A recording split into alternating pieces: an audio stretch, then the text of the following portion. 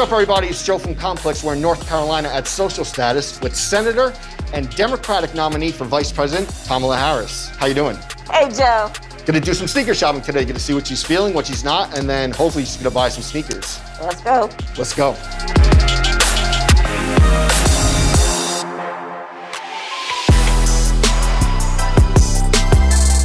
Senator Harris, let's start early beginnings. Yeah. Howard University, I heard your crew very fashion forward. Sonia Lockett said that it was no it was no sweatpants going to 8 a.m. Class. You guys always made sure that the style was on point. What Yeah. were like the footwear choices back then? Let's see. I, a lot of heels, sandals. I mean, very rarely were we wearing tennis shoes for gym, but the, it was literally.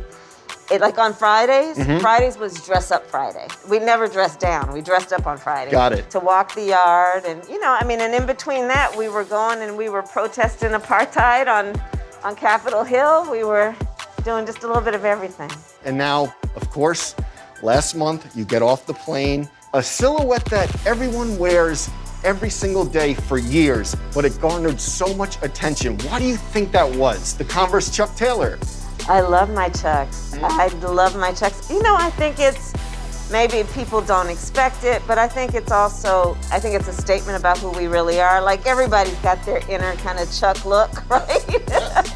and I think it just has to do with the fact that we all want to go back to some basic stuff about who we are as a country, right? I mean, chucks, like we all, whatever your background, whatever language your grandmother spoke, you know, we all at some point or another had our chucks, right? Absolutely.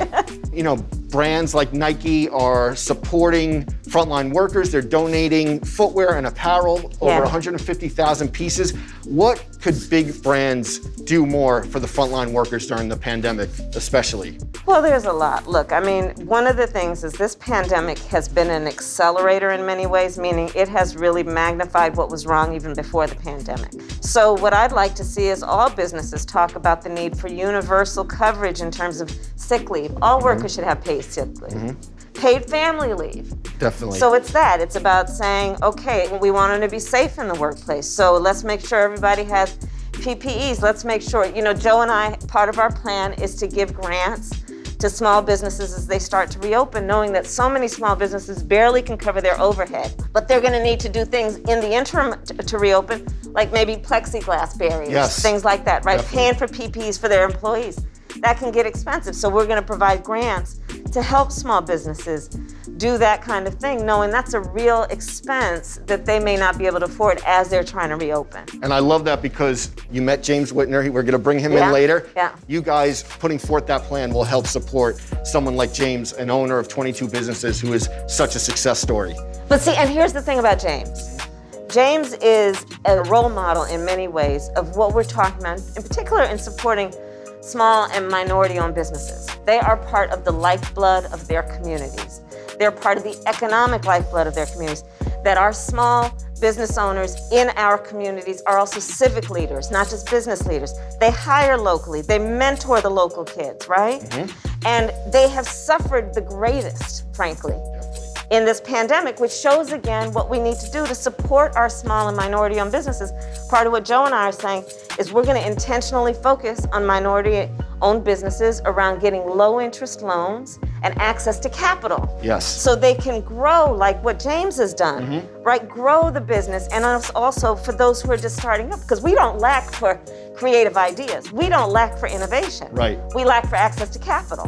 So Makes sense. increasing access to capital so people can grow a business like James has done. I mean, look at what he's Look done. at look at how beautiful. It's incredible. One thing I have to ask: when the shoes went viral, did Joe notice? Did is are we stepping?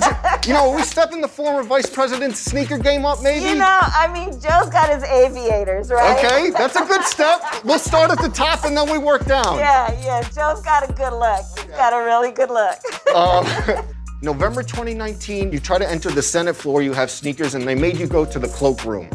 If you cannot, one is not supposed to wear sneakers on the floor of the Senate. Okay. It's still there, and um, Biden Harris White House, though, uh, maybe the dress codes loosen up a little. Look at you, you know, we're in 2020 now. Yeah. Is there a chance that maybe it loosens I up? I think there is. Okay, love that. but but here's the thing: it's not about loosening up, right? It's about lacing up. exactly. You know See? what I'm saying?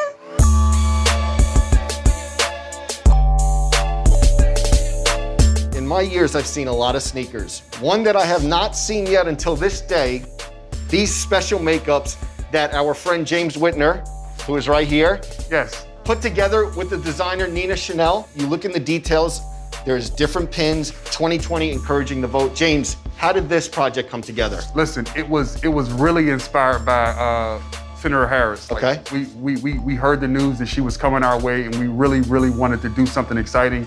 So I hit Nina Chanel, and this is just classic Nina, right?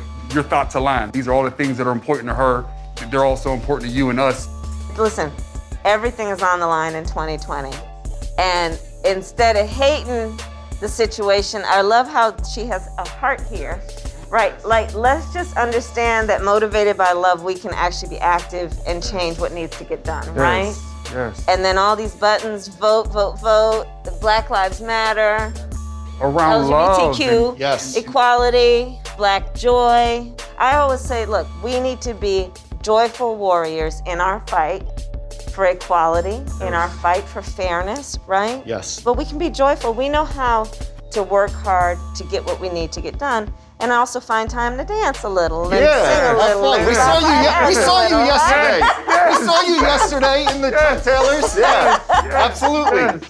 There's some HBCU plan for these, perhaps. That is the plan. Okay. The plan is to support eight local HBCUs. As a business, our goal is not about commerce. This is this is secondary. It's about connectivity to black culture and uplifting and mentoring and just participating in, in historically black colleges and university. All of these shoes will go to uh, local Johnson C. Smith, our local HBCU. That's so fantastic. Listen, I'm a proud graduate in HBCU. HBCUs have produced the majority of our professionals who go on in every subject to become national and international leaders. In fact, Joe and I were committed to putting $70 billion into HBCUs to help them grow and to help them nurture all these bright minds.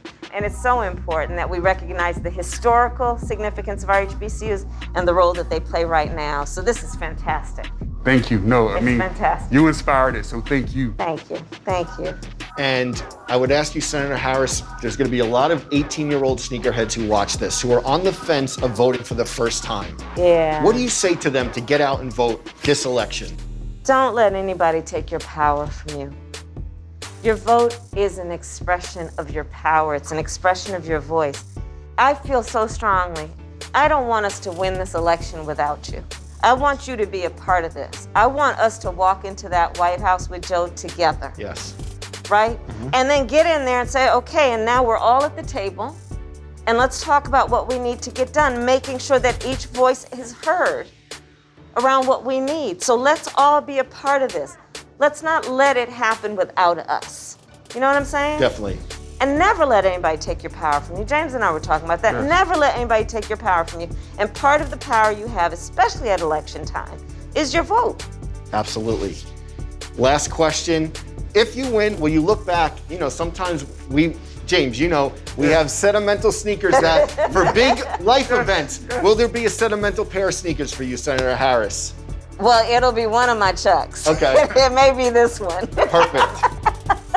well, we talked about everything. Now is the easy part. Browse the shelves, see what you're gonna buy. Okay. Let's do it. I have an idea.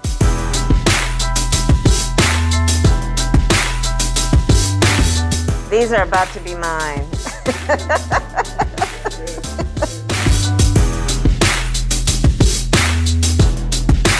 All the shoes will be going to Johnson C. Smith University, a local HBCU here in Charlotte, specifically to Dr. King's class. He teaches soul food. It's a class on sneaker culture.